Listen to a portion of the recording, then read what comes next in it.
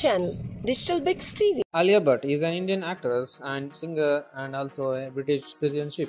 She is one of the most highly paid actresses in India as of 2019.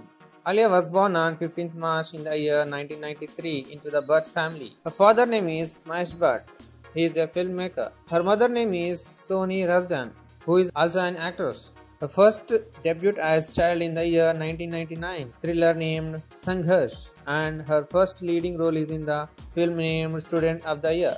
Alia's father is of Gujarati descent and her mother is of Kashmiri Pandit and German ancestry. Alia Bhatt was educated at the Jamnabai Narsee School in Mumbai, also British citizenship. One of the magazines estimated her annual income to be around rupees 592 million and listed her as the highest paid act- actress in the country. Bhatt designed her own clothing brand for women in the year 2014 for the online fashion portal Jabong.com. In the year 2018, she launched her own line of handbags for VIP industries. Alia is also the celebrity endorser for a number of brands and products, including Coca-Cola, Garnier, and Maybelline.